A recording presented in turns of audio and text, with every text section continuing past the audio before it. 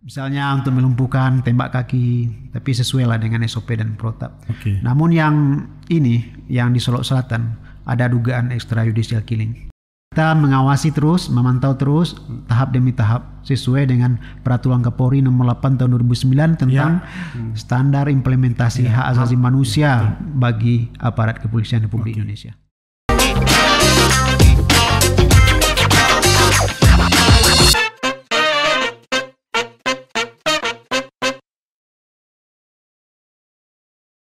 Oke, baik eh, ketemu lagi dalam BCL Bang Charles Low, para BCLers yang sudah menunggu-nunggu eh, sesi demi sesi diskusi kita di channel BCLS BCL pada apa link langgam.id eh, extrajudicial killing.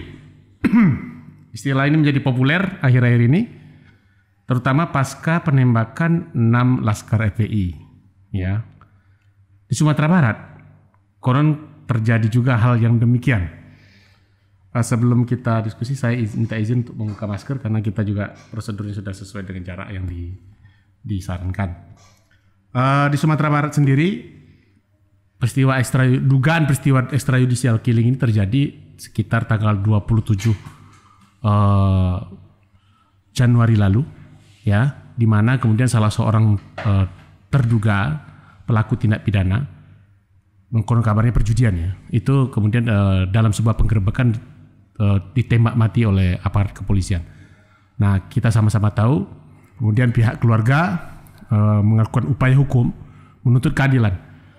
Saya tidak akan membahas lebih detail karena sudah hadir bersama kita Kepala Perwakilan Komnas HAM Sumatera Barat, Bapak Sultanul Harifin. Beliau eh, apa ya partner atau kolega lama ya yang sudah lama tak bersua tapi selalu mengikuti juga lah eh, gerak-gerik beliau, pergerakan beliau dalam konteks eh, perjuangan pemenuhan hak asasi manusia di Sumatera Barat.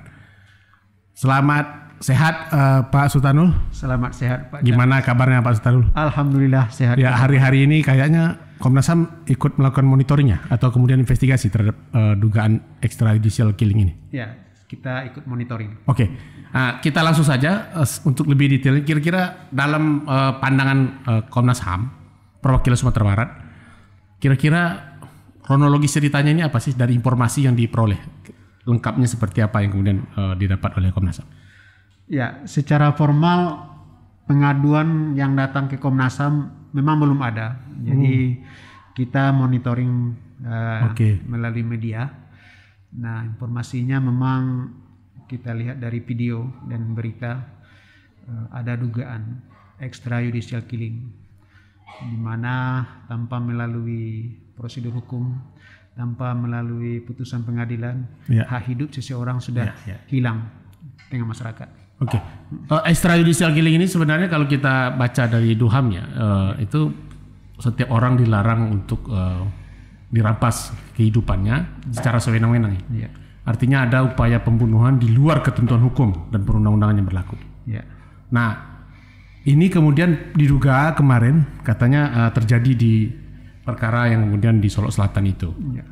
Komnas HAM belum menerima laporan. Nah, kira-kira inisiatif apa sih seperti yang bisa dilakukan oleh Komnas HAM dalam konteks eh, untuk mengawal proses ini supaya sesuai dengan eh, pemenuhan hak-hak asasi manusia, terutama hak korban ataupun juga ya eh, perbaikan bagi institusi eh, kepolisian itu. Eh, sambil monitoring lewat media, Ya. kita koordinasi dengan Polda Sumatera Barat. Oke, Eh, kita koordinasi dengan eh, Propam, Irwasda dan eh, Kabit Humas Polda Sumatera Barat. Eh, tadi pagi terakhir kita masih koordinasi dengan Humas Polda Sumatera Barat.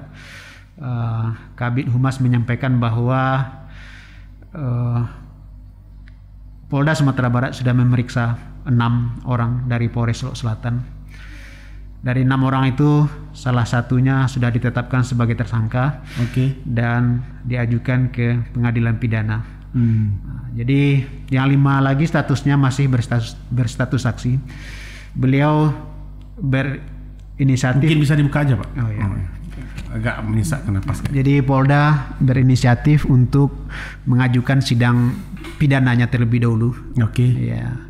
kemudian bagaimana putusan pengadilan uh, nanti akan ditindaklanjuti dengan sidang kode etik dan sanksi etik. Apakah okay. itu berupa uh, pemecatan atau apa nanti setelah putusan pengadilan. Yang jelas dulu. Artinya cukup responsif uh, Polda dalam hal ini untuk apa uh, melakukan upaya penindakan atau penegakan hukum terhadap dugaan extrajudicial killing ini. Cukup responsif saya rasa hmm. karena belajar dari kasus FPI dan kepolisian uh, sebelumnya kan kalau di pusat ada penyelidikan dulu dari Komnas HAM. Ya, Komnas HAM. Dinyatakan itu melanggar HAM. Ya. Kemudian Komnas HAM mengeluarkan rekomendasi ya. supaya untuk demi mendapatkan hak atas keadilan bagi semua pihak uh, rekomendasi Komnas HAM salah satunya adalah supaya ditindaklanjuti dengan proses hukum pidana. Nah, kita di Sumatera Barat belum, belum melakukan penyelidikan. Okay. Kemudian belum melakukan pemantauan ke lapangan juga. Uh, namun Polda sudah uh, mengajukan ini uh, dalam proses hukum pidana dan nanti setelah putusan pengadilan akan ditindaklanjuti dengan sidang etik dan sanksi etik. Oke. Okay. Ya. Uh, sekalian sengaja kita mengundang Komnas HAM ini karena memang kemudian uh, ada keterbatasan teknis juga. Karena kalau saatnya idealnya kita mengundang Polda kemudian juga mengundang uh, keluarga korban atau minimal kuasa hukumnya. Nah saya tadi malam uh, apa menonton uh, media pemberitaan juga bahwa ada upaya mediasi yang sudah dilakukan. Kira-kira uh, seperti apa itu informasinya Pak Sultan? Upaya mediasi itu yang saya catat dari koordinasi dengan Polda Sumatera Barat di hari pasca kejadian itu ada tiga bentuknya yang disepakati. Yang pertama pelaku harus diperiksa secara transparan, terbuka, ya, secara ya. luas. Yang kedua jalan yang diblokir dibuka lagi ya. di daerah yang bersangkutan. Itu kan akibat dari uh, ya. kemarahan ya. publik ya masyarakat ya. waktu itu ya. Ya, yang ketiga bagi yang merusak mako akan diproses tentunya karena kita di negara hukum. Oke. Okay. Jadi ada tiga itu kesepakatan dari mediasi. Oh, artinya memang kemudian uh, Polda akan beri tegas terhadap pelaku, ya, kemudian ya. juga uh, akses jalan bisa dibuka dan ya. kemudian pelaku kerusakan juga pengerusakan juga akan ditindak juga. Ya, ya. Nah terhadap si korban sendiri gimana? Keluarga korban terutama, apakah ada semacam apa ya santunan atau apa yang kemudian diberikan di luar proses hukumnya? Nah ini kan nyakut ya. hilangnya nyawa ya, ya, apalagi kemudian kan berakibat pada uh, ya mungkin posisi beliau sebagai kepala keluarga atau anak dan segala macam. Uh, kemarin itu uh, korban dan keluarga beserta tokoh masyarakat sudah diundang ke Polda Sumatera Barat. Ya untuk membicarakan keluhan unek-unek apa saja uh, di Polda dan acaranya sudah selesai. Namun hasilnya apakah itu akan ada santunan atau berupa uh, donasi atau apa kita belum tahu informasinya. Oke okay, oke. Okay, okay. Artinya cukup uh, proaktif ya proses yang dilakukan ini. Saya lihat sampai hari ini cukup. Nah, ya. kita mengawasi terus, memantau terus tahap demi tahap sesuai dengan peraturan Kapolri nomor 8 tahun 2009 tentang ya. hmm. standar implementasi ya. hak asasi manusia Betul. bagi aparat kepolisian Republik okay. Indonesia. Ya, itu yang kemudian menjadi nilai lebih. Kita di Sumatera Barat, eh, semua itu punya kantor perwakilan Komnas HAM ya. ya. Dan ini memang tidak semua provinsi punya kantor perwakilan. Jadi ya.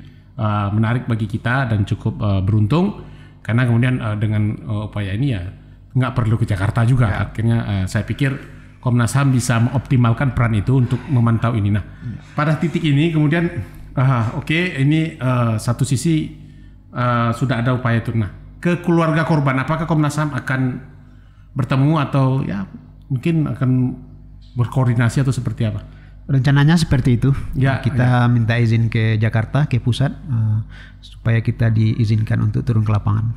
Okay, Walaupun okay. ini proses sedang berjalan. Oke. Okay. Artinya uh, upaya proaktif juga selain memantau di proses di Polda, ya. ini juga terjadi apa ya. um, memenuhi apa menemui ya, ya. pihak uh, korban ya. dan juga ada kuasa hukumnya kalau tidak salah dari teman-teman di LBH pergerakan. Ya, betul. Saya pikir bisa dikoordinasikan juga untuk ya. upayanya. Betul. Nah, di luar kasus ini uh, Pak Sultanul, kita di Sumbar ini ya, uh, apakah dugaan-dugaan kejadian yang serupa itu seperti apa sih kondisinya di Sumatera Barat? Terjadi juga atau di, di tempat lain atau pada masa lalu sama? Uh, di tahun 2021 ini kasus yang mirip dugaannya uh, ada lebih kurang enam kasus. Hmm. Cuman ya, tentunya yang di blow up ke media dan kasusnya tidak separah ini itu ada lima. Oh. Misalnya untuk melumpuhkan tembak kaki, tapi sesuai lah dengan SOP dan protap. Oke. Namun yang ini, yang di Solok Selatan, ada dugaan extrajudicial killing.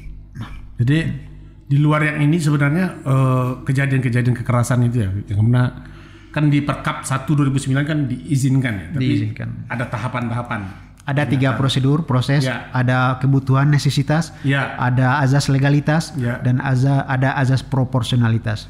Nah, Sepanjang itu harus sesuai dengan kebutuhan, ya, boleh. ya. Sepanjang itu berdasarkan hukum, legalitas, boleh. Sepanjang itu proporsional, boleh.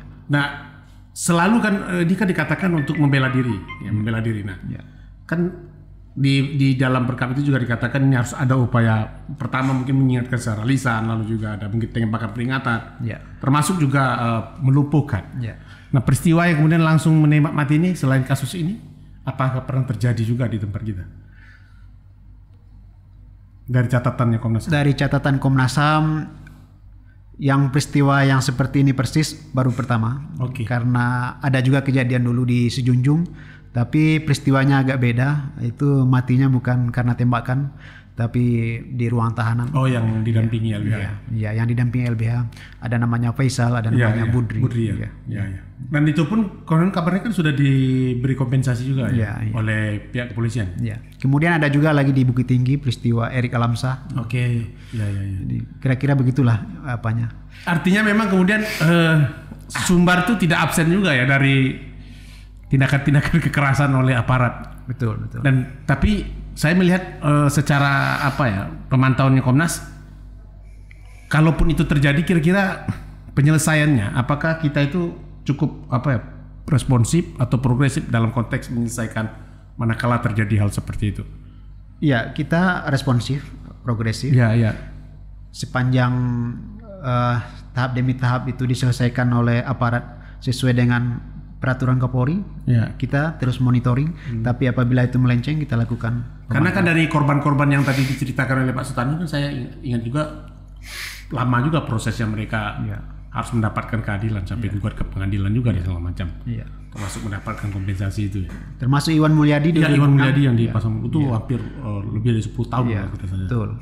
Nah ini yang juga kemudian eh, Bapak Ibu semua kawan-kawan jadi catatan kita bahwa eh, siapa pun kita, ya, termasuk aparat juga kita eh, berikan apa atensi bahwa peluang-peluang terjadinya kekerasan dalam penegakan hukum itu memang terbuka ya. Apalagi kemudian mereka memegang eh, senjata. Nah dari catatan YLBHI saya baca itu tahun 2019 saja terjadi 67 YLBHI itu catatannya di seluruh Indonesia. Tadi Sumatera Barat untuk kasus ini baru pertama. Nah, ke depannya gimana nih? Kira-kira ya upaya-upaya saya pikir juga penting ya untuk eh, masyarakat dan juga termasuk oh, kepolisian sendiri. Apakah cukup intensif misalnya eh, Komnas HAM bekerja sama dalam kepolisian untuk tadi ya mengimplementasikan Perkap 8 2009 kan biasanya kan ada kegiatan sosialisasi lalu juga ada segala macam. Iya betul. Salah satu bentuknya kita telah lakukan MOU dengan Polda Sumatera Barat. Dalam salah satu pasal di MOU itu kita akan melaksanakan sosialisasi hak asasi manusia kepada seluruh aparat, utamanya aparat yang bersentuhan langsung dengan masyarakat, misalnya aparat polsek, polres, penyidik dan lain-lainnya itu. Ya ya ya. Ya. Saya pikir ini kasus menjadi eh, evaluasi dan refleksi bagi kita semua di Sumatera Barat, Ya. terutama dalam konteks eh, untuk mencegah terjadinya hal ini Ya. di masa di masa datang. Nah, eh, terakhir nih Pak Sultanul, Ya. Kalaulah memang ini kemudian eh, diproses ya, seberapa optimis kita kemudian bahwa ini proses ini akan bisa berjalan sesuai dengan ketentuan peraturan perundang-undangan? Kenapa? Karena memang ya dalam tanda petik ya polisi nyidik polisi kan itu juga jadi persoalan ya independensinya dan segala macam. Ini kira-kira sejauh mana sih eh, peran Komnas HAM untuk gitu? Karena kalau kita bicara masyarakat saya pikir ya melalui media dan segala macam itu oke lah. Tapi apakah ini mendapat atensi khusus dari Komnas HAM untuk memantau prosesnya sampai selesai nanti seperti yang tadi diceritakan? Saya kira ya ini mendapat atensi khusus dari Komnas HAM. Peristiwanya sudah sampai ke mana-mana. Ya, uh, mendapat atensi khusus namun memang penyidiknya harus dari kepolisian karena ini termasuk pelanggarannya bukan pelanggaran HAM berat. Ya. Kalau pelanggaran HAM berat itu masuknya ke pengadilan HAM dan penyidiknya adalah Jaksa Agung. Nah, ini karena pelanggaran HAM sama sepertinya dengan apa FPI itu, itu penyidiknya oleh kepolisian, dituntut oleh kejaksaan dan disidang oleh pengadilan di tingkat pengadilan negeri. Untuk itu makanya demi menjaga ya proses hukum ini berjalan sesuai ketentuan, Ya. saya pikir kita masyarakat juga harus eh, ikut memantau ya. Betul. Komnas HAM tangannya pendek, Ya. Komnas HAM Ya, ya. jangkauannya pendek. Jadi kalau ada informasi-informasi yang uh, tidak sesuai dengan yang diharapkan mohon disampaikan ke Komnas HAM. Iya, iya. Nah ini perkenalan juga Komnas HAM itu eh, beralamat di sekitar apa Jalan Rasuna Said. Eh, bisa kita akses masyarakat yang kemudian mungkin ya mengalami perlakuan yang kemudian tidak sesuai atau sewenang-wenang dari aparat penegak hukum, mungkin bisa nanti menghubungi Komnas HAM perwakilan Sumatera Barat. Kenapa ini menjadi sesuatu yang penting juga agar penegakan hukum itu ya juga tidak digunakan atau dilakukan dengan cara yang melanggar hukum. Betul. Itu poin penting yang kemudian eh, kita harapkan. Saya pikir itu saja eh, diskusi kita mengupas eh, bagaimana kemudian eh, seputar dugaan extrajudicial killing dan eh, kita apresiasi ya aparat eh, kepolisian termasuk juga kita juga eh, turut menyatakan prihatin kepada keluarga korban dan mudah-mudahan eh, mendapatkan keadilan sebagaimana yang kemudian eh, kita inginkan bersama. Untuk itu kita berharap juga Komnas HAM untuk eh, menjalankan fungsi monitoringnya Siap. dan untuk eh, mengawal secara serius perkara ini karena ini tidak sederhana Ya. ya membunuh satu orang itu ya dalam sebuah negara hukum itu adalah kejahatan yang luar biasa kalau tanpa didasari dengan hukum. hukum. Saya pikir itu saja. Terima kasih. Sampai ketemu lagi BCL semua. Selamat sehat. Mantap.